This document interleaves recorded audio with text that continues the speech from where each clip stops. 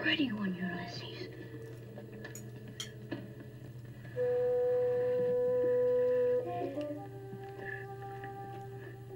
There it is. Hello BookTube, I'm Shawn the Book Maniac. Welcome back to my channel. Here I am with another Friday Reads, and I'm just going to kind of check in on what I've got on the go now because it's getting to the end of the month and I I guess I am slipping back into my old custom of wanting to finish up as many books as I start within the month by the end of the month because I so enjoyed that feeling on January 1st of starting a whole swack of new books.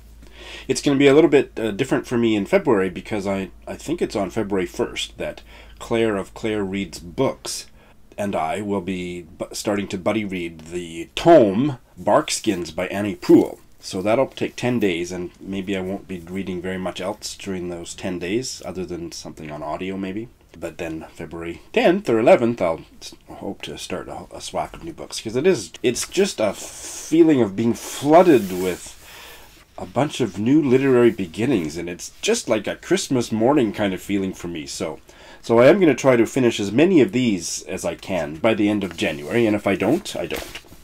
First, I want to talk about NetGalley. Many of you know that NetGalley is a online ARC reviewing site where anybody can register and then apply to receive ebook galleys, so net galley, of forthcoming books. And if you review them, you build up a profile and kind of a uh, point system, and they, you'll get more books and more books that you request. And I have been trying to break through to become recognized as somebody worthy of receiving an galley, an ebook galley from NetGalley for more than a year. But I was just reviewing books on Litsy and on Goodreads. And then I started a booktube channel and I added that to my profile, but I didn't have very many subscribers. And so finally, in January, once I hit 500 subscribers, I think I requested four books on one day, and I was approved for three of them almost instantaneously. So, I guess 500 is the magic number. One of them is coming out in early February, so I started reading it today. That's one of the two new ones that I have to tell you about today. And it's a translated novel from the Norwegian, published by Archipelago Books, with the very short, sweet title Love by Anne Ørstavik. And the translator is Martin Aitken. New Year's resolution start mentioning translators' names. I've read uh, 10 pages, 15 pages, and I like the translation very much. It, it's really easy to sink into the prose somehow. It's alternating between the single mother's consciousness and the young son. I think it's going to be his ninth birthday the next day, because that's apparently, to the degree that there's any story here, that's the story a lot of small moments and just alternating between points of his point of view and her point of view. But it's really quite a soothing um, read so far. Like it just you just pulls me right into her and then him.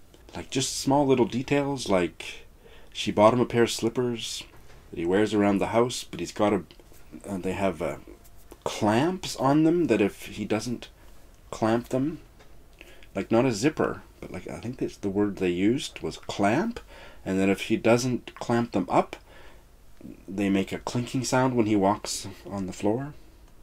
Just those little details that just make it really vivid. So I have no idea, but starting out good. And that will be my very first NetGalley. So of course I'm going to do a full review here. And the other one that I started, and this I mentioned in the shithole countries video, which seems like it may soon be my most viewed video. That's interesting. Was a novella that Joss over at Scribbles Reads mentioned, uh, which is probably going to win my award for 2018 for the best book title of the year.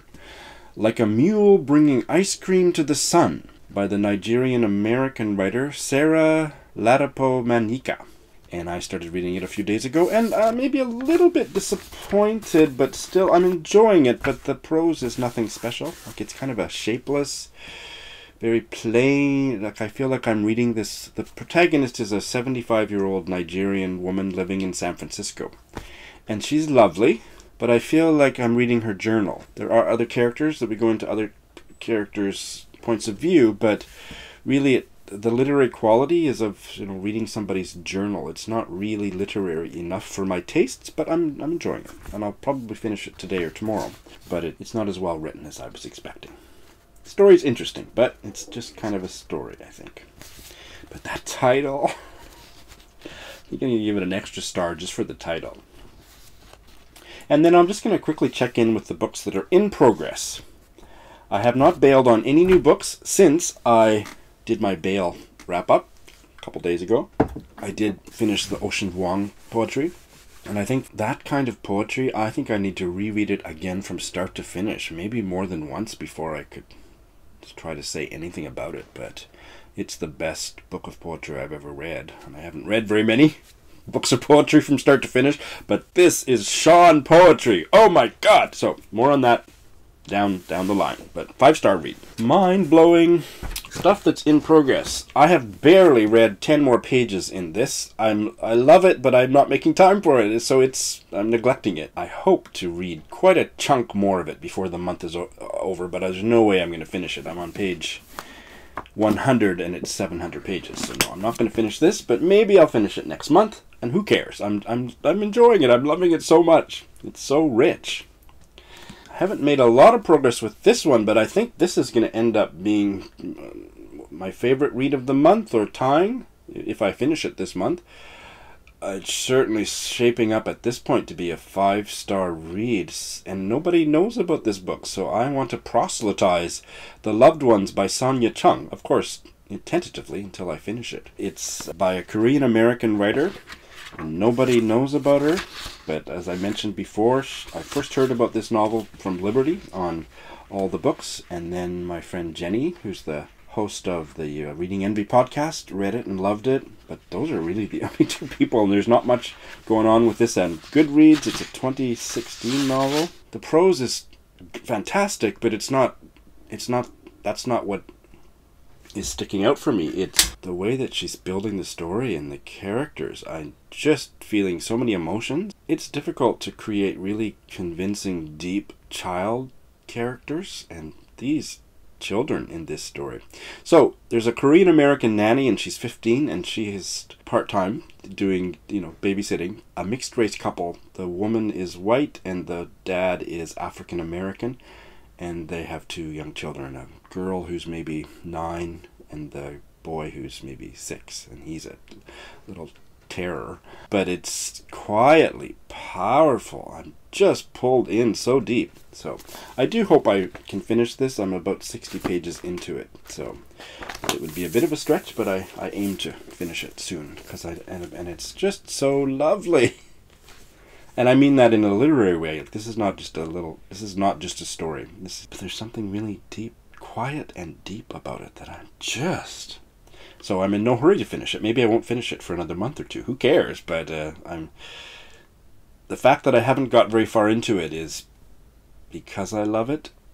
Welcome to my world. This one I will finish today or tomorrow I'm about 80% of the way through it. Alina Bronsky's novel, The Hottest Dishes of the Tartar Cuisine. And she is a Russian German writer. She writes in German. She was born in Russia. And this is translated from the German by Tim Mohr. Published, the translation was 2011. I don't want to say too much about it, but I'm guessing now it's going to be a four star read unless something goes terribly awry in the last chunk. Fascinating characters. The writing is not what's standing out, although the writing is fine. But the story is so intriguing and the characters. Very unlikable, but yet there's something compelling in a way that I'm still kind of rooting for everybody and not hating anybody. But they're quite hateful, especially the main character, the mother and grandmother character, the narrator. But it's fascinating. So I'll, I'll do a full review on this one, I think. So, this is the uh, short story collection. They're linked short stories, so it's kind of a novel in short story form. The Tsar of Love and Techno by Anthony Marra. His novel, A Constellation of Vital Phenomena, was my top read of last year, my second most favorite novel of my whole life. So that's a tough act to follow, and it took me a while. I was fascinated intellectually by the stories at first, but it took me maybe uh, 75 pages before I was hooked emotionally, and now I am. I'm really enjoying it. Again, I'm reading it pretty slowly, but intricately layered plot stitched between. How many stories are there? Again, set in Russia and Chechnya, so a lot of it overlaps in a way with the, the uh, setting for A Constellation of Vital Phenomena, which was a Chechen story. It looks like there's about nine stories, and I am uh, on the fourth story. So I've got a ways to go. I may finish it by the end of the month. Who cares? But I'm really enjoying it. Yeah, it's gonna probably be another five star read. So those are the physical books. What else have I got here? A novel that I heard about on Russell's Ink and Paper blog channel and started within five minutes of hearing him talk about it is After the Parade by Lori Ostlund. And I am really liking it a lot. I think I can almost say I'm loving it, but I, I need to keep read some more.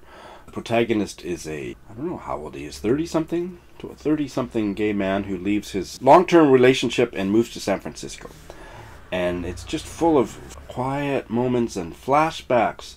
Where I realized that I'm probably going to love this novel was an extended flashback to his childhood with his violent father and put upon mother, and they're taking a trip together and there's some sweet moments and some affectionate moments and then these really disturbingly violent moments. And it's all narrated in a way the prose it just flows like water. Oh yeah this is something special. So once i read that and it was about 10 page and a flashback to his childhood i thought oh yeah this is really fine. I'm reading The Round House by Louise Erdrich. This is for Joss's book club over on Scribbles Reads, and I am enjoying it a lot. I'm finding it really emotionally compelling, and I find that this is my first Louise Erdrich, and I'm finding the writing very uneven. Some of the writing really sings, and some of it really clunky prose. I would say more is working than not, but I'm a little surprised at how uneven the prose is for such a famous novelist. So I'm certainly turning the pages, wanting to find out what happens. And end on a really positive note, Denis Johnson's posthumous collection of short stories, The Largesse of the Sea Maiden. I've now finished the second story on audio. The audio narration is phenomenal. I think each story is narrated by a different narrator, but I didn't look up who they were, so they might be famous actors for all I know, because the narration is just to die for, and the stories are amazing. So the second story is in the form of letters that a really screwed up an addict guy, alcoholic or drug addict. Uh, he's 33 years old, and he's writing to his family and his friends and his primary school sweetheart and Satan and God from the treatment center. If you describe that story to me, I would say I don't want to read that, but oh, it's so well done. His voice, his personality, the way it's rendered through all these letters that he sends, many of which obviously he doesn't send, but it's uh, uh, it was an amazing story. I would say that one, and yeah, no, I've got a few potential five star reads in progress. We'll see how many of them I finish. I will probably finish the Denis Johnson audiobook this weekend, and then I will have three or four days next week to see how many of the rest I can finish. But the, the bit of a tension between I do like to finish books up so I can start fresh, but at the same time, I also don't like to rush books that I'm enjoying. So my January wrap up may be very short compared to my Bail wrap up the other day. And it has been a bit of a bumpy month reading wise with all the Bails and disappointments, but uh, boy, there's some just fantastic fiction that I'm immersed in at the moment too. So it all works out in the end. What are you reading this weekend? What's up for you, book-wise or otherwise? I look forward to your comments and have a great weekend. Thanks for watching.